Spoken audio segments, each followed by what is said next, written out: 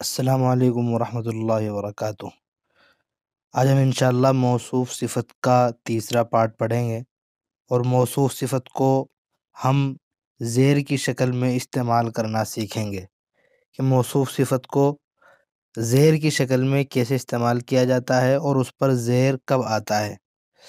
मिसाल के तौर पर मैं यहाँ पर एक मिसाल लिख देता हूँ। ज़हबतु इलल मस्जिदी। ज़हबतु इलल मस्जिदी। तर्जमा क्या होगा? जहाब तो फ़ैल भी है और फ़ाइल भी है, मैं गया। इलल मस्जिदी, मस्जिद की जानब। या मैं मस्जिद गया। की जानब कहना भी ज़रूरी नहीं है। क्यों? क्योंकि इला तो जो आ रहा है, वो तो जहाबा की वजह से आता है। जहाबा जब भी आएगा ना, वो इलाही के साथ आएगा। आप जब भी जहाबा का सीगा यूज़ करेंगे तो इलाही के साथ आपको यूज़ करना होगा। जहाँ भी जाएँगे तो उस पर आप इला लगा दीजिए। और आपको ये भी मालूम है कि इला हरफ जर है और हरफ जर के बाद जो इसम आएगा वो मजरूर होता है, उस पर ज़ेर होता है। तो अब देखिए सिंपल है बिल्कुल, मैं गया मस्जिद। लेकिन मुझे कहना है, मैं गया खूबसूरत मस्जिद की जानब। मुझे मस्जिद को जो है मौसूफ़ बनाना है और इसकी एक सिफत लेकर आनी है खूबसूरत।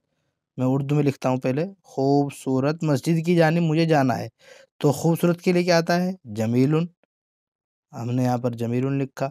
अब देखिए, अब ये हो गया जुमला जहाब तो मस्जिद जमील अब ज़ाहिर सी बात ये गलत हो गया। क्यों? क्योंकि जमील को जो हमने सिफत बनाया है अलमस्जिद की तो इसके अंदर बहुत सारी चीज़ें जो हम, जो सेम होनी चाहिए थी, वो सेम नहीं है। चार चीज़ें बिल्कुल सेम होनी चाहिए, मारिफा हो तो ये भी मारिफा होगा तो हम इसको भी मारिफा कर लेते हैं। अलमस्जिद मारिफा है और मौसूफ़ है तो इसकी सिफत भी मारिफा होगी। मारिफा होते ही तनवीन ख़त्म हो जाती है और एक ही पेश रह जाएगा।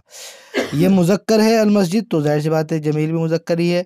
वाहिद अलमस्जिद तो जमील भी वाहिद है। अब देखिए अलमस्जिद पे ज़ेर है तो हमें अलजमील जो था उसको भी हमें अलजमील करना पड़ेगा। अब हमारा जुमला क्या बन गया? जहाब इलल मस्जिद जमीली। अब तर्जमा होगा, मैं गया खूबसूरत मस्जिद की जानब।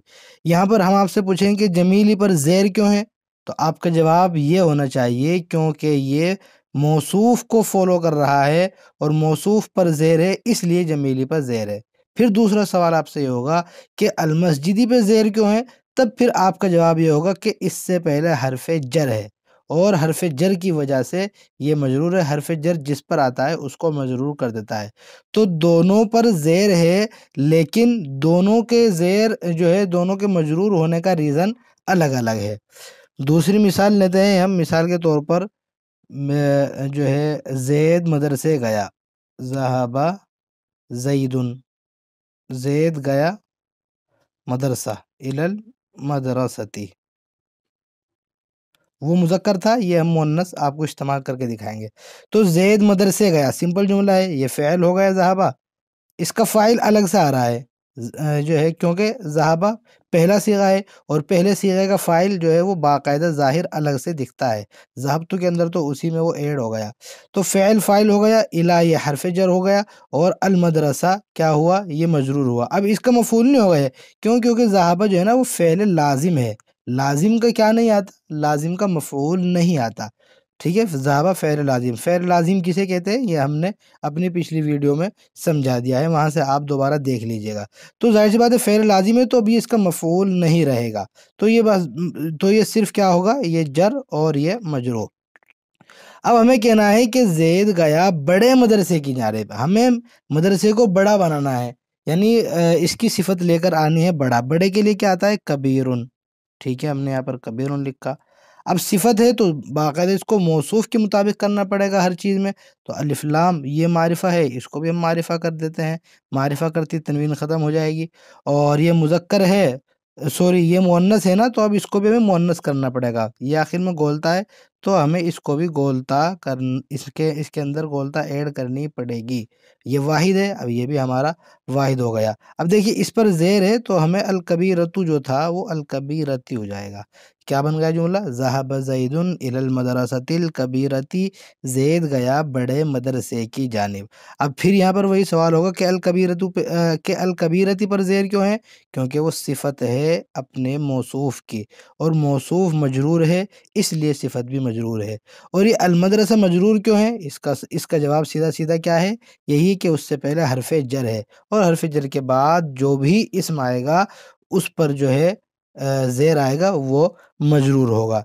एक लास्ट मिसाल और ले लेते हैं। मिसाल के तौर पर अर्रजुलु फिल बैती। ये तो जो है जुमला जुमला फ़ैलिया था। जुमला फ़ैलिया क्योंकि ये फ़ैल से शुरू हो रहा था। ये जुमला इसमिया है। अर्रजुलु फिल बैती। आदमी घर में है, ठीक है? अर्रजुल आदमी फिल बैती घर में है। हमें कहना है, आदमी ऊँचे घर में है तो हमें घर को सिफत घर को मौसूफ बनाना है, इसकी एक सिफत लेकर आनी है ऊँचा। ऊँचे के लिए क्या आता है? रफ़ीउन तो हम यहाँ लिखेंगे, फिल बैतर रफ़ी, फिल बैतर रफ़ी अब देखिए, इस पर लिफलाम था, इस पर भी लिफलाम आ गया। वाहिद है वाहिद है, मुजक्कर है मुजक्कर है। इस पर जेर है तो रफ़ी पर भी जेर आ जाएगा। तर्जमा क्या होगा? आदमी तर्जमा उल्टा करेंगे मौसू सिफत का अलबैतुलरफ़ी ऊँचा घर। आदमी ऊँचे घर में है। तो ये हमारा जुमला इसमिया भी तैयार हो गया। इसके बाद मैं यहाँ पर कुछ जुमले लिख देता हूँ। आप उनसे और अच्छी सी मश्क कर लीजिए। मैं यहाँ पर होमवर्क आपको लिख कर दे देता हूँ। देखिए, यहाँ पर मैंने कुछ जुमले आपके सामने लिख दिए हैं। अल्फ़ल्लाहुल आपको इनका तर्जमा करके लाना है। तिलमीज़ मुजतहिदन अलक़तारसरी क़तार ट्रेन को बोलते हैं सरी मतलब तेज़। अल्लमून हामिज़, लेमून यानी जो है नींबू, अलहामिज़ बोलते हैं खट्टे को। अलबुस्तानजमील बुस्तान बाग को बोलते हैं, सऊबन रखीसन, रखीस मतलब सस्ता, सऊबन कपड़ा। ये उर्दू है, इसको आपको अरबी में कन्वर्ट करना है, जैसे ये ठंडा पानी। इसको आप ये मौसू सिफत है, इसका आप जो है अरबी में तर्जमा कीजिए। पानी के लिए माउन और ठंडे के लिए जो है बारिदुन। एक कीमती हार हार के लिए आता है एकदुन एकदुन आइन, काफ, दाल। एकदुन मतलब हार जो गले में पहनते हैं। एक ने एक लड़का एक ने किताब, तेज रफ्तार घोड़ा। घोड़े के लिए हिसानुन, फरसुन, दोनों आते हैं। तेज रफ्तार, ये सरीउन जो है। खूबसूरत परिंदा परिंदे के लिए तायरुन आखिरी नबी। तो ये आप होमवर्क कर लीजिए। बाकी इंशाल्लाह अगली वीडियो में हम मुजाफ मुजाफिल है और मौसू सिफत की लाइव प्रैक्टिस करेंगे इंशाल्लाह।